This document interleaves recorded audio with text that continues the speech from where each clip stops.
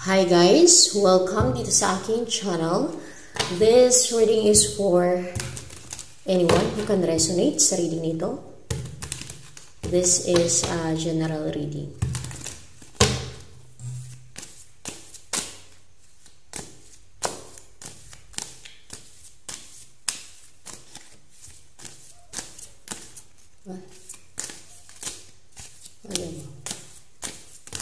Oh my gosh.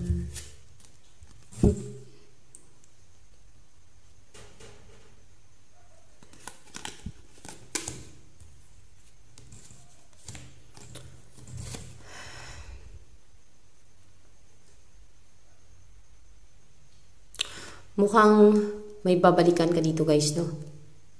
Yung person na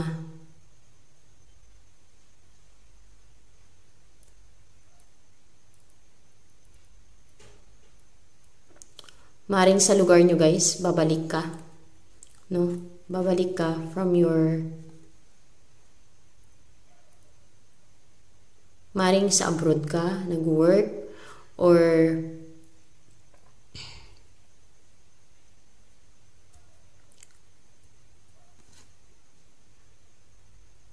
may pinuntahan kang malayo na gusto mong bumalik sa lugar na kinalakihan mo, no? Na may mga memories ka doon na masaya and uh, mukhang namimiss mo yung ano mo eh, uh, ma maring father figure, no? Maring tatay mo or lolo mo, no? Na talagang pag naalala mo siya, namimiss mo siya kasi napaka-generous sa iyo ng person na yon ng, ng, ng tatay mo or lolo mo, no? Or kamag-anak mo na talagang yun yung uh, reason, isang reason, no? Na pinaka-reason kung bakit ka uuwi or babalik. Dahil gusto mong makita and gusto mong makasama yung person na yun, no? Yung uh, parents mo or yes, mari din, no? Kamag-anak mo, family mo.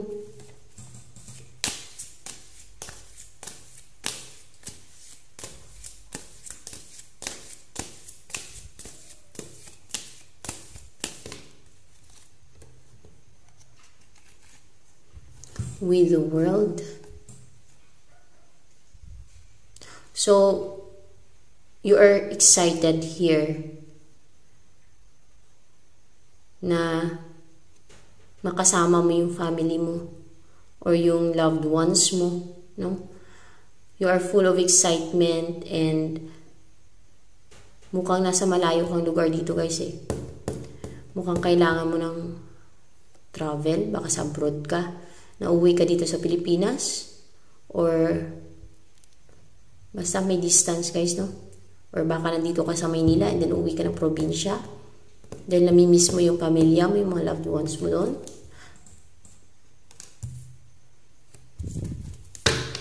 So, let's get the energy of your love life. Happenings in your love life.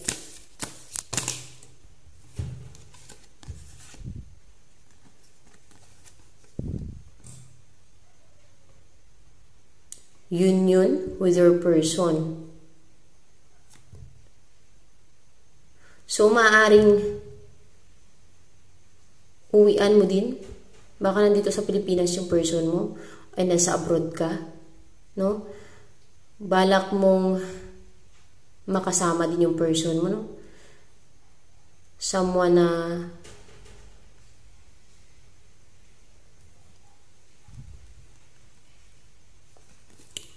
malayo sa'yo, no? Yung person mo, para may distance. Kaya gusto mong uwian or balikan.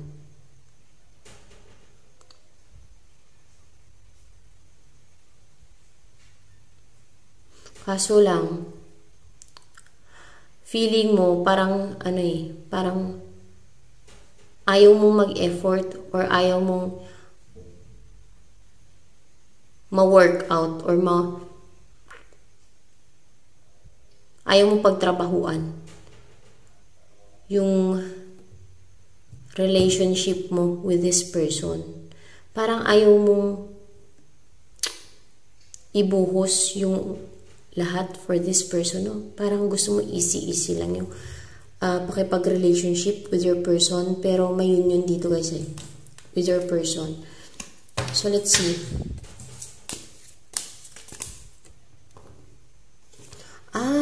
Kasi nga, tingin mo dito guys, ay parang wala ng pag-asa, no? Na mag-grow pa yung relationship nyo. Ganon. Pero, gusto mo nang, may mangyayaring yun yun dito eh. Sa inyong dalawa. So, let's see. Parang nawalan ka ng hope sa inyong dalawa ng person mo dito. Na tingin mo parang hindi na ma-work out, hindi na mag-grow yung relationship nyo, no? Na masayang lang yung effort mo pag nag-effort ka or mag-invest ka sa relationship na yan with your person. Mm.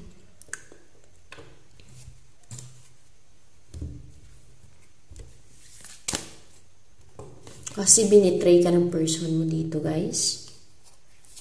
And then, nagbigay ng problem. Sumakit lang ulo mo sa person mo. Uh, matindi yung pinagdaanan mo dito. Parang, kahit sa malayong lugar ka,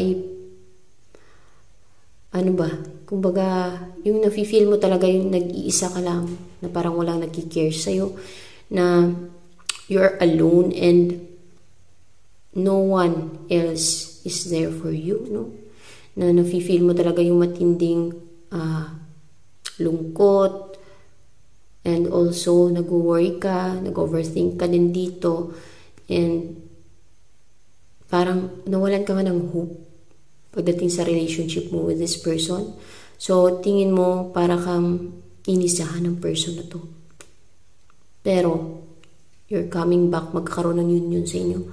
So baka, yes guys, sa pag-uwi mo, no, or pagbalik mo, maring dito sa Pilipinas or sa lugar nyo, ay mamimit mo yung person mo, baka magkabalikan kayong dalawa, no? Pero yung, yung reason talaga, pinaka-reason na uuwian mo, kaya ka babalik dahil gusto mong makita yung family mo, yung loved ones mo, lalo na yung father figure, maring tatay mo, no? na miss mo talaga. Na dahil sa pagiging uh, generous, caring, no? a good father or yes, a good provider sa inyo.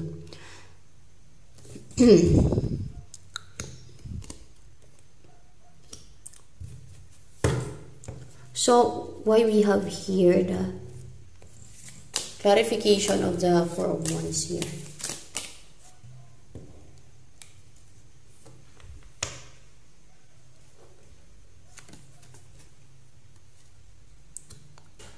Mukhang magka, magkaroon ng reconciliation dito guys, oh.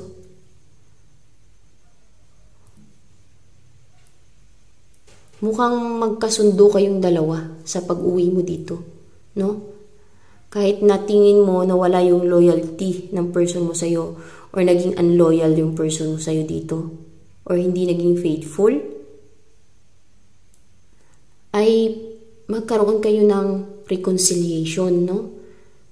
So, maayos nyo pala yung relationship nyo dito. So, baka uh, susuyuin ka ng person mo at manghingi ng pasensya or tawad sa'yo, no? Baka mapa, mapatawad mo din yung person mo dito. Ayun, no?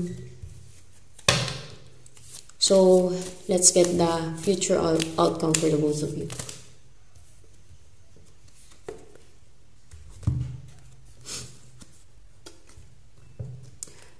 Yun guys, meron ngang tinago yung person mo sa'yo dito na hindi mo pa alam. No? Naging secretive yung person mo dito and you want justice pero mukhang magkaroon kayo ng reconciliation, pag-ayos, mabalance out yung mga differences or maring misunderstanding, no? And then, possible outcome ay mukhang uh, magkatuluyan kayo ng person mo. Mapangasawa mo tong person mo. Kayo ang magkatuluyan nito. You have here the Ten of Cups eh.